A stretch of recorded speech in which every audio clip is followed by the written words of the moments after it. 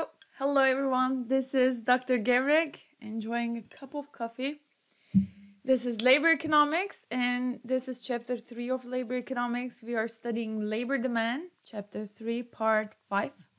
Today we'll talk about the relationship between the cost minimization and profit maximization.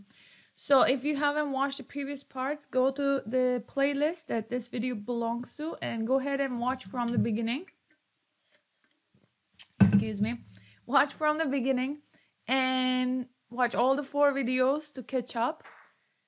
Subscribe to this channel so that whenever there's a new video upload, you get notifications and catch those. These could be videos related to classes, but I'm also going to be uploading some um, research videos, just explaining big, big research papers in like 30 seconds or so and giving you economic updates to keep you smarter. All right. So let's continue about the relationship between profit maximization and cost minimization. I want to remind you that profit maximization will always imply cost minimization, okay, because it's built in. However, cost minimization doesn't, I'm going to put a question mark, not necessarily imply profit maximization because when you're trying to produce something at the minimum cost, did you choose your output level? Is your output level profit maximizing output level? That's the question. So profit maximization involves choosing an output level such that marginal revenue is equal to marginal cost. And we talked about uh, perfectly competitive companies, price equals marginal cost. As a result, a perfectly competitive company marginal revenue equals price we talked about it. So we're trying to do price equals marginal cost. As a result we yielded this. We got this result right? Price equals to 1 over marginal product of labor times the uh, wage rate. So what's happening here is that what you'll realize here is that um, this kind of relates to our first order condition okay? So if you Rearrange this, you get value margin product of labor, price times margin product of labor equals to the wage rate, okay? So we also can get this one. This is a long run profit maximization. Value margin product of capital equals to the rental rate, all right? So these imply cost minimization and we can divide the left hand side with the right hand side, right? Cancel these out, these out, watch the previous videos. So you get one dollar spent on right? One you just swap the places of these two. You get the equality of one dollar spent on labor uh, bringing us the level of output exactly equal to one dollar when you spend it on capital.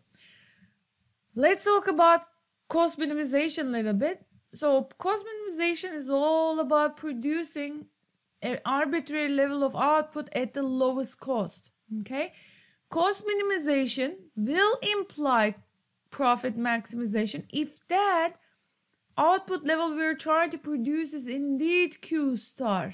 Okay, so it is indeed the best level of output. So as a result, if that's the case, then you have profit maximization. So let's see it graphically.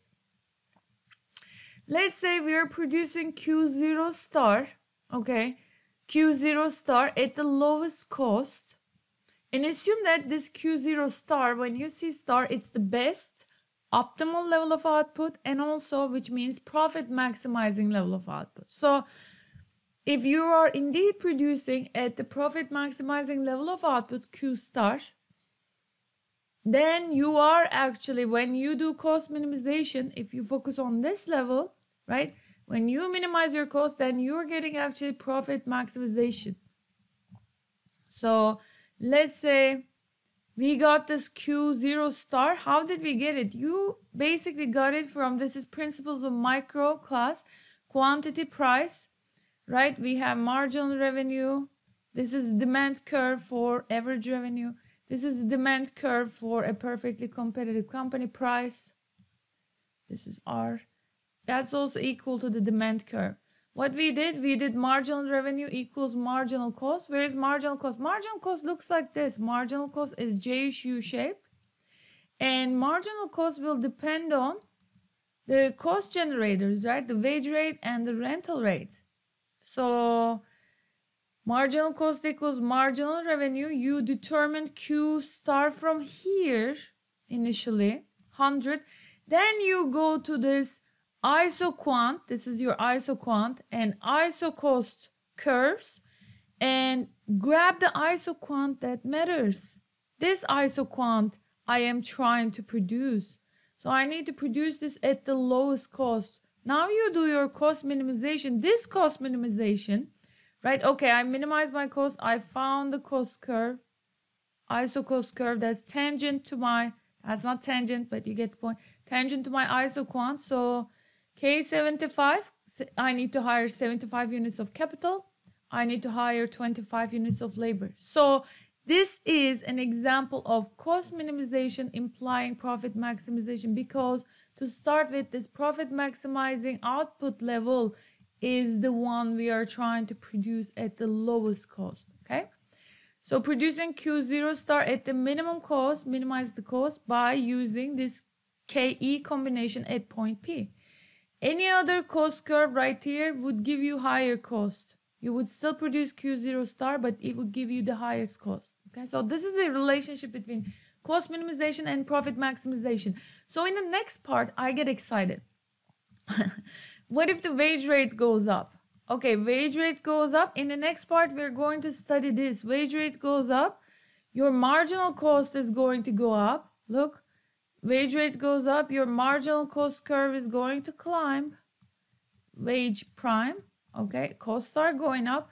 So your optimal level of output is going to decline okay? So bunch of different things are going to go up. So quantity goes down so total cost of production will be affected. But that's the next part and i'll see you in next part. So the best combination gives you profit maximization um, result in this case because v minimize the cost to produce the level of best level of output. I'll see you in next part, the long run labor demand.